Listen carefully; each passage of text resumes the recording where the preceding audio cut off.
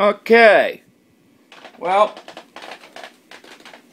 my friend in Canada traded me for this cool little fuzz here. I don't know if you can see it. We're going to check it out. It's a DAM meathead clone.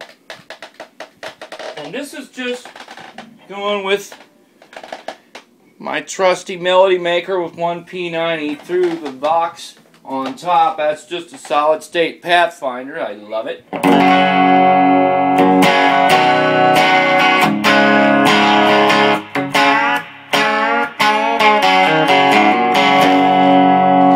have some fuzz.